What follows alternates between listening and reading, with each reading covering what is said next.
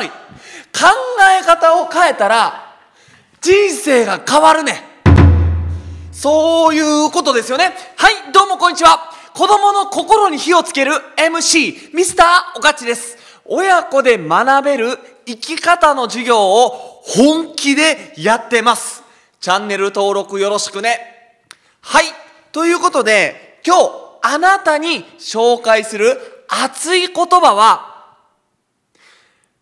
考え方が悩みを作る。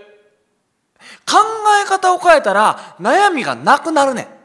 だから今苦しい人悩んでる人辛い人そして毎日を楽しくしたいあなたは最後まで見てください。絶対に後悔はさせません。ちょっと水飲みますね。はい。ということでまず言わせてください。ミスターおかちが今から言います。いいですか？言います。出来事が悩みを作ってるんじゃないねん。な？考え方が悩みを作っている。これは心理学心の研究をしている博士が考えた見つけた ABC 理論という全ての人間に当てはまることです。これを今から説明します。いいですか？はい。こんなことがありました。ね？お兄ちゃんの太郎くんと弟の次郎くんが家で楽しくゲームをしていました。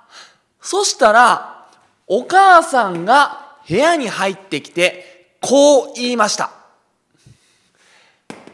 早く勉強しなさい。そして、お兄ちゃんの太郎くんは、このように考えました。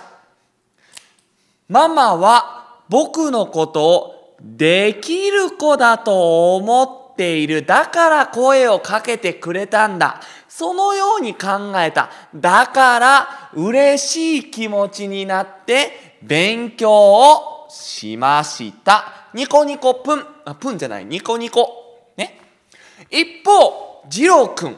弟の次郎くんは、ママは僕のことをダメな子だと思っている。だから早く勉強しなさいっていつも怒るんだ。そのように考えました。そしたら悲しい気持ちになって何もやる気が起こらなくなってそしてどうしようって悩みました。ね？わかった？なあ。早く勉強しなさいってお母さんに言われたその出来事。ひらひら出来事っていうね。これ出来事。出来事が悩みを作ってるんではなくて起こった出来事に対してどういうふうに考えたのかが悩みを作っている。そういうことやね。わかる？わかる？これは全てのことに当てはまります。学校生活や毎日いろんなことをやってたら本当にいろんな出来事が起こるよね。雨が降ったり友達と喧嘩したりテストの点数が悪かったり試験に不合格になったり。いいですか？こういう起こった出来事雨があなたを悲しい気持ちにしてるんじゃないね。雨が降ってやることないわ、最悪や、濡れ、濡れるの嫌やって思ったその考え方が悲しい気持ちにして雨だから何もやる気が起きないっていう行動になっているねん。そうやろ？雨が降ったからといって悲しい気持ちの人だけじゃないやん。別に嬉しい気持ちの人もいるし普通の気持ちの人もおんねん。な、友達と喧嘩してもそう、不合格になってもそう、そういうことやねん。わかるかい？言いたいことはこういうことです。これから先、学校生活でどんなことが起きたとしても、ね、あなたの考え方次第で嬉しくもなるし悲しくもなる。そういうことや。だからあなたに伝えたい。自分を楽しくする考え方を身につけよう自分のことを好きになる考え方を見つけるんやな太郎くんみたいに昔の俺は完全に二郎くんやった。自分のことが嫌いになる。そして自分が楽しくならない。そんな考え方をしていたの。例えばバスケットボールおかっち大好きで一生懸命練習をしていた。その時おかっちはこう考えていた。バスケの試合に出られる人が偉い。かっこいい。人気者。つまり試合に出られない人はダメなやつで最悪でできない人間なんだ。そういうふうに考えていたの。でおかちはどれだけ練習しても試合に出してもらえなかったの。試合に出してもらえない。出来事があった。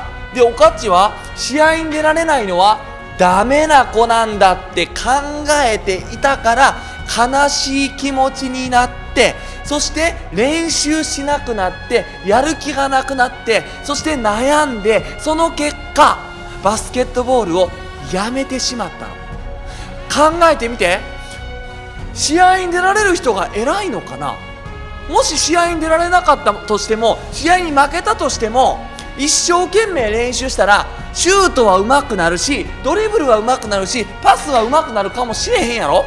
な練習したら上手くなるやん。だから試合に出られない勝った出来事があったとしてもシュートは上手くなったって考えたら考えたらな嬉しい気持ちになってやる気を持って練習するかもしれへんやん。なそして練習したらどうなるよ。練習したらそううまくなんねん。なうまくなってこう階段登っていくやん。こう上達していくわけやろ。上手になっていくやん。じゃあもしかしたらこの前は試合に出られへんかったかもしれへんけど次は試合に出れるかもしれへんねんな。自分の未来自分の未来を変えることができるかもしれへんねん。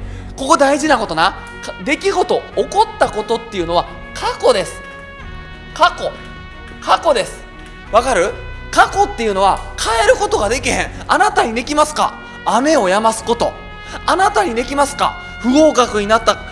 と不合格のそのねあの紙を合格に変える力あります。30点っていう答案用紙を目の力で100点に変えるぞってできへんできへん。そうなん。過去を変えることはできへん。そしてママ友達人の気持ちも変えることはできへんねん。大事なことはここや。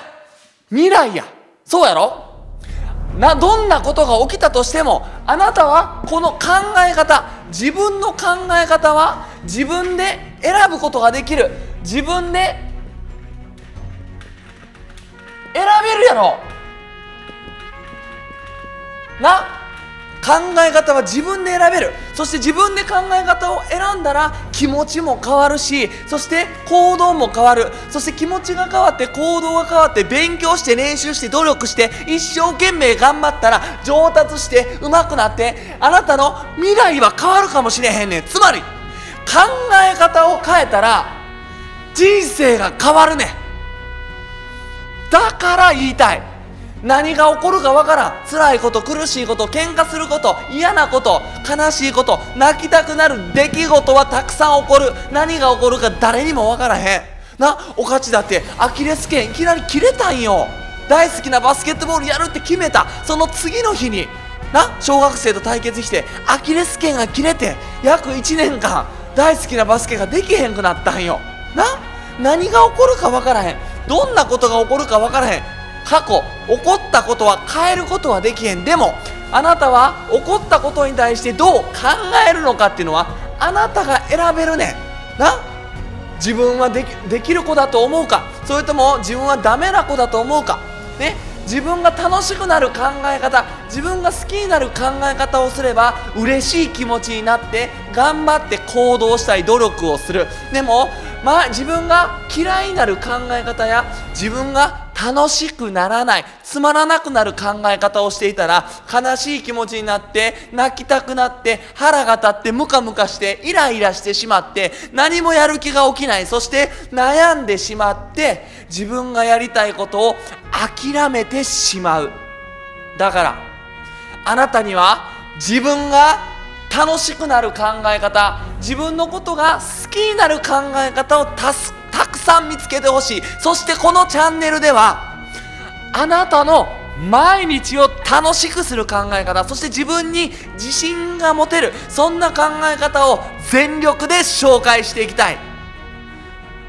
俺はあなたが毎日を楽しくする考え方を見つけて毎日楽しく生きることを心の底から応援してます。